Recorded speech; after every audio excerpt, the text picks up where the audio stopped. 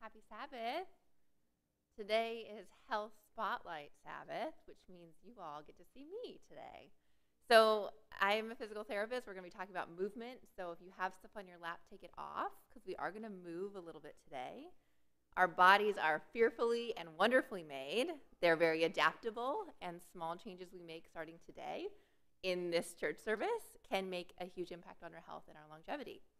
So, no matter how old you are, if you're over, I don't even know if you have any over 90s in here today, but if you're over 10, if you're over 50, if you're over 70, small changes can make a huge impact. So, we're going to be doing an activity, but I need three volunteers. I would prefer three in three different age categories, but I'll take who I can get. So, good. We have a young, perfect. Ria, I knew, I knew I'd have one for the young, no problem. Can I have someone that's over the age of 18 but under the age of 60? Anybody in that age range? Yes. Okay, and how about somebody over 60 that can handle the stairs? Sherry, all right, perfect. We've got it. Wonderful. Okay, so while they're coming up, we're going to be doing three different activities and one that you can kind of just think about. So there's a fourth one. And I want you to move with me. I don't care how old you are, I don't care how mobile you think you are. These are very um, standard screening tools, so they're not designed to be very hard. And then we'll talk about what's normal, okay? And they're going to be your models, all right?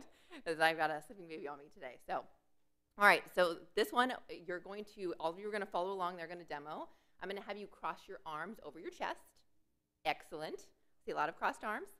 Your job, before you do it, your job is to stand up fully straight and sit down. Wait, wait, just hold on just a second and sit down all the way so that your bum is touching the seat fully, not just tapped. And then you will repeat that. And our, job, our goal is to do that five times. That's it, five times. But we're going to try to do it five times within 15 seconds. Okay, so I'll be kind of counting silently with my fingers here. We'll get through two hands plus one. If you have a hard time making it without using your hands in that 15 second period to get through five, then that just says, hmm, maybe we're at risk of falling, or maybe we need some work on our, the strength of our legs. Okay? So if you don't make it to five, that's okay. I don't want you to hurt yourself. But the goal is just five in 15 seconds. Okay? You got the rules down, everybody? Sit fully, stand up fully, and you can do five when I say go. All right, ready, set, go.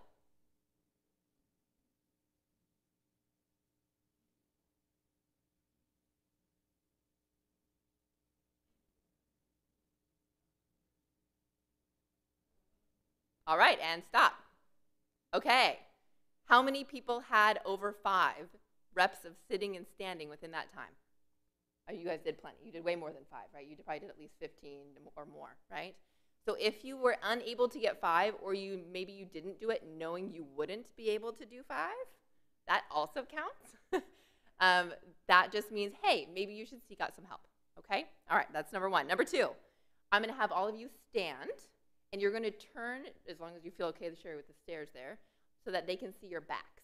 Okay, so you're to turn all the way so they can see your backs. Okay, you guys don't need to turn.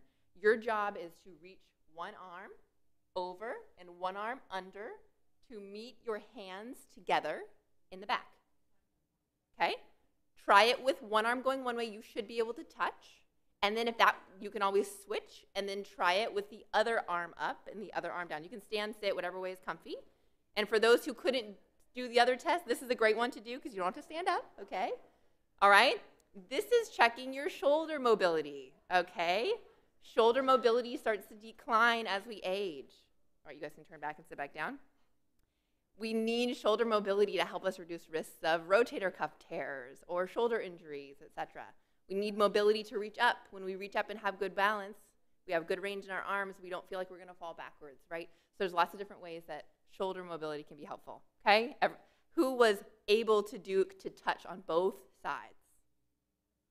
Not as many, right? It can be tricky, and one side typically is harder than the other. Okay, so something to think about, something to work on, and reach out help. This last test is a balance test. You guys all feel comfortable with balance. If not, please stand behind your chair instead of in front of your chair. Okay. For you guys all, balance testing means standing. So if you are comfortable, please stand. Your goal is not to touch the pew in front of you. Okay. It's there if you need it. I don't want anybody falling down, but your goal is not to touch. We're going to be standing on one leg. The goal is 10 seconds. And again, I will count with my hands, okay? Well, the, the invisible seconds will be going.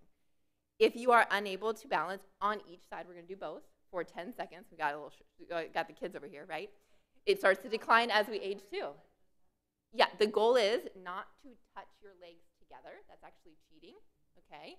You want your foot off the ground. You don't need to hold it forward, that's harder. Just kind of up off the ground, but try not to touch your legs together, okay? And when we're ready, go ahead and lift.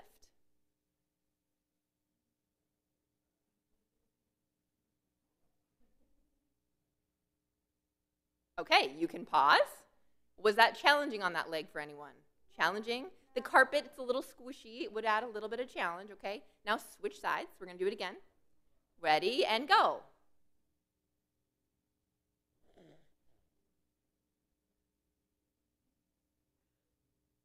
All right. Who was able to balance 10 seconds on both sides? Okay. For those of you who weren't or didn't participate because you knew it would be challenging for you, same thing. You probably, you guys can sit if you want to, you probably are at risk of, of an increased risk of falling. That doesn't mean you will fall, it just means that it's a sign that says, hmm, maybe we should work on this now before it becomes something that can progress to something worse as we age. Okay? And the last one is when you guys can demo, it might be hard in a pew just because of the, the distance, but can you, this is a back flexibility test, can you touch your toes?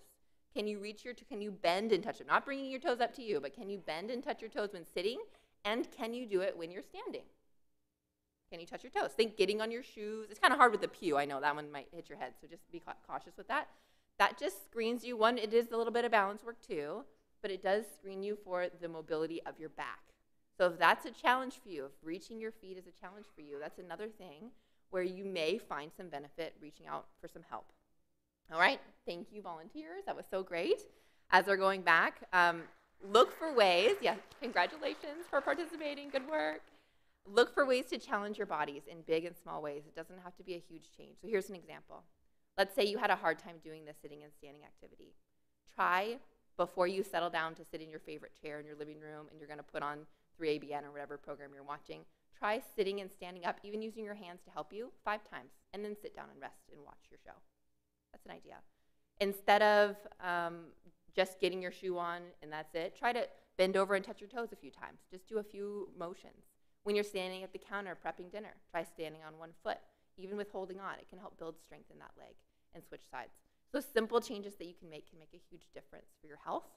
And I'm going to read a verse from you, which I'm sure will be familiar to you all. It's from Psalms 139, verse 13 through 16, and it says this For you created my inmost being. You knit me together in my mother's womb. I praise you because I am fearfully and wonderfully made. Your works are wonderful. I know that full well. My frame was not hidden from you when I was made in the secret place. When I was woven together in the depths of the earth, your eyes saw my unformed body. All the days ordained for me were written in your book before one of them came to be. You're cared for, you're loved, and we can make changes together.